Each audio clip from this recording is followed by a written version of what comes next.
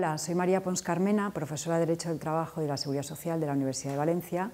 y voy a comentaros algunas de las novedades que introduce el convenio 190 de la OIT sobre violencia y acoso en el trabajo. Voy a hablar en concreto sobre el concepto de violencia y acoso en el trabajo y también sobre su ámbito de aplicación subjetivo y espacial. El artículo 1.1 del convenio 190 introduce un nuevo concepto de violencia y acoso en el trabajo unitario, amplio y objetivo. Ello significa, en primer lugar,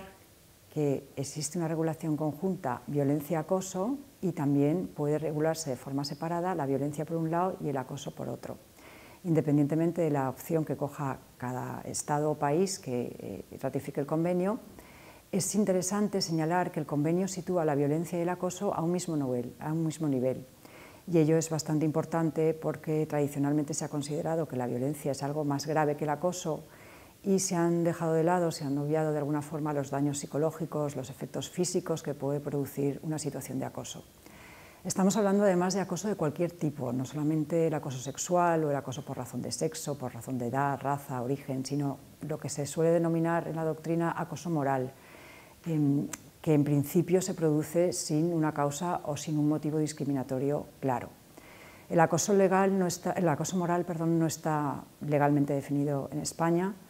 y por ello este nuevo convenio, esta nueva definición contenida en el convenio 190 de la OIT supone un importante avance.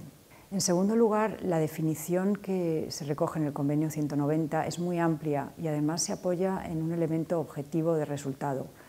Es decir, se centra en la producción de un daño y además ese daño puede ser de cualquier tipo, ya sea daño físico, sea psicológico, sea económico o sea moral. Ello con independencia además de eh, la necesidad de valorar la intencionalidad del sujeto que lo causa. Es decir, no es necesario que ese, eh, que ese acoso sea reiterado para confirmar que existe y ello sí que venía siendo una exigencia en nuestro país hasta la sentencia del Tribunal Constitucional 56-2019. A su vez, el convenio 190 eh, adopta un enfoque muy amplio en cuanto a su ámbito de aplicación, es decir, con respecto a las personas que deben quedar protegidas por lo dispuesto en la norma. El convenio habla de, personas trabajadoras, pero no solamente de personas trabajadoras, sino que incluye dentro de su ámbito de aplicación a las personas despedidas, personas en formación, voluntarios, personas en busca de empleo y o postulantes de empleo, y puede verse también en esta misma línea que el convenio menciona a los terceros ajenos a la relación laboral, que también eh, pueden estar incluidos dentro de esta em, relación de acoso y violencia y es lo que se suele denominar violencia externa. En este sentido, la norma establece una relación de puestos de trabajo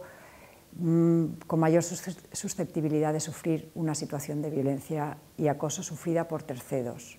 por ejemplo, cuando se trabaja de noche, en fines de semana, trabajos en los que se está en contacto con objetos de valor, trabajos de seguridad. A su vez, la recomendación 206, que acompaña al convenio, menciona una mayor preocupación por la violencia y acoso por razón de género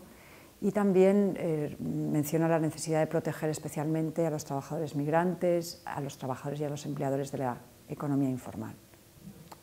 Por lo demás, el ámbito, de aplicación espacial establecido en el convenio es muy significativo, pues va más allá de lo que habitualmente se considera el lugar, físico de trabajo.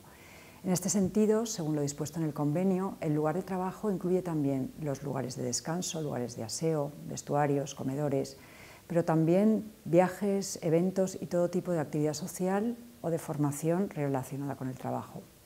También se considera lugar de trabajo, a efectos de la aplicación de la normativa, las actuaciones que puedan realizarse en el marco de las comunicaciones realizadas por medios tecnológicos,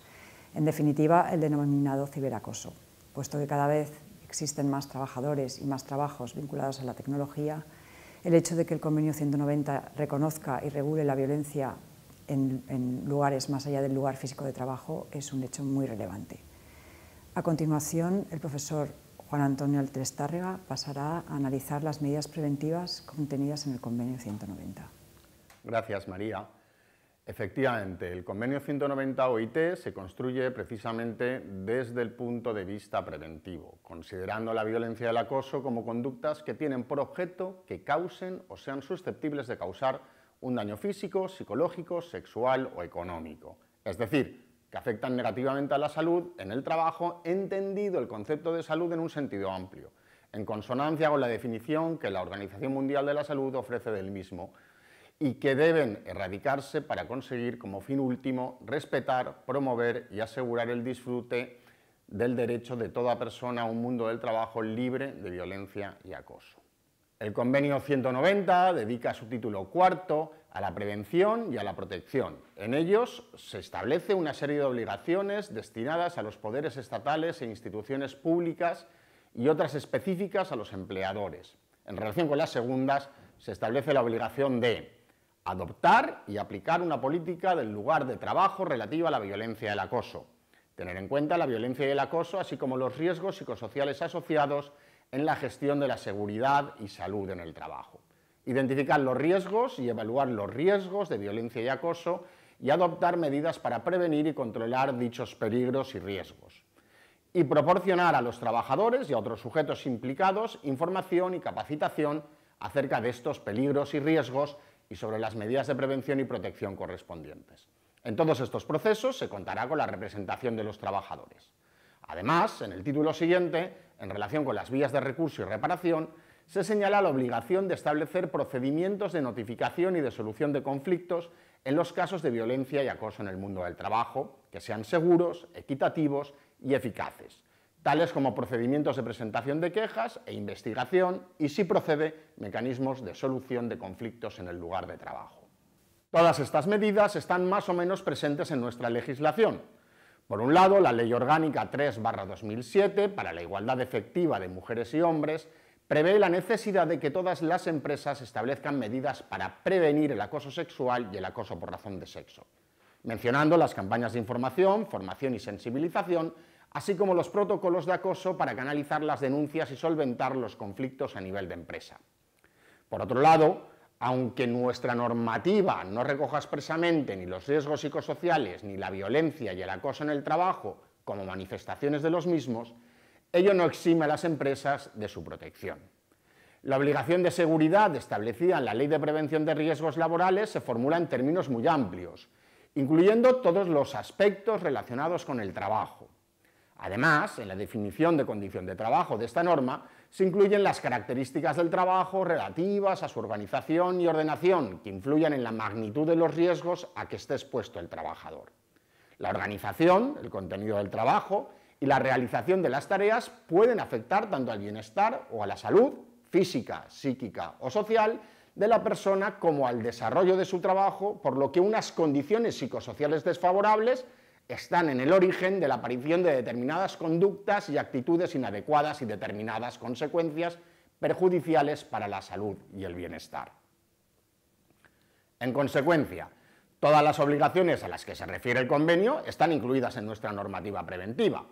Ahora bien, hay que hacer notar que, por un lado, las medidas que recoge la Ley de Igualdad, al referirse exclusivamente al acoso sexual y al acoso por razón de sexo, dejan de lado otras situaciones de violencia y acoso igualmente recogidas en el concepto del convenio, por lo que deberían extenderse a todas ellas. Y por otro lado, que la ausencia de referencias expresas en la normativa preventiva y el hecho de que no haya un desarrollo reglamentario sobre estos riesgos psicosociales provoca en una materia tan protocolizada que las empresas no integren la violencia y el acoso en el trabajo en los planes de prevención. Y aún más grave, que tampoco la inspección de trabajo actúe ante esta actitud como lo hace en relación con determinados riesgos físicos que cuentan con reglas muy desarrolladas a fin de evitarlos y que por ello debería aprovecharse la ratificación del convenio para incorporar los riesgos psicosociales y en especial la violencia y el acoso para darles mayor visibilidad, e incrementar la prevención sobre los mismos. Muchas gracias por vuestra atención, esto es todo.